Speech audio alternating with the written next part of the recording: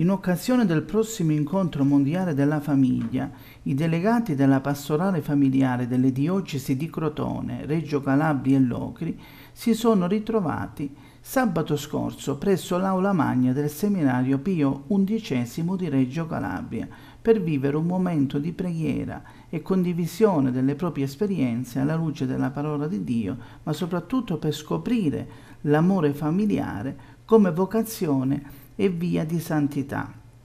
L'evento è stato promosso dalla diocesi di Crotone, rappresentata dal proprio arcivescovo Monsignor Angelo Raffaele Panzetta e dal responsabile diocesano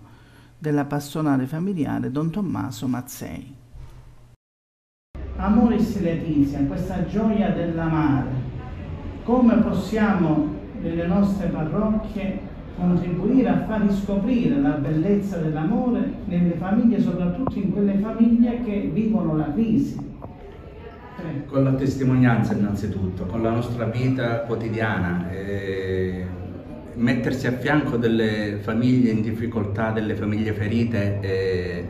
eh, l'accompagnare. Allora noi come diocesi Locri Gerace, come responsabili di pastorale familiare regionale, generalmente la, diciamo, la priorità la diamo all'accoglienza. La, la, la, la, parte iniziale e l'impatto importante è l'accoglienza e l'empatia eh, diciamo, nel dialogo. Eh, le coppie eh, si devono sentire accolte e sicuramente diciamo, non giudicate. Siamo venuti qui alla Madonna della Consolazione a Reggio Calabria e mm, siamo stati consolati ed esortati profondamente dalla parola di Dio, da Maria Santissima, a ripartire con gioia nel servizio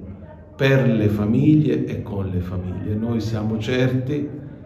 che il futuro che il discernimento sinodale ci sta facendo intravedere passerà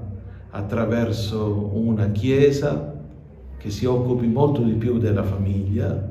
e che valorizzi il carisma degli sposi per trasformare le nostre comunità e renderle più familiari, più accoglienti,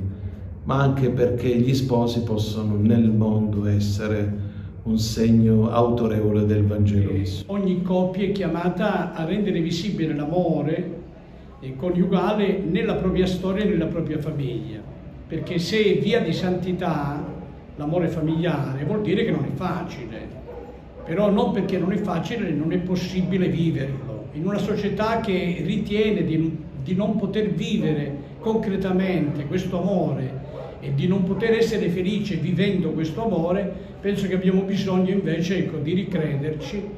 e di mostrare la bellezza dell'amore familiare che ci fa sentire ecco, pellegrini in cammino insieme con lo stesso passo che è sempre il passo di Dio in mezzo a noi, perché l'amore familiare ci coinvolge e ci fa sentire ecco, comunità, popolo in cammino.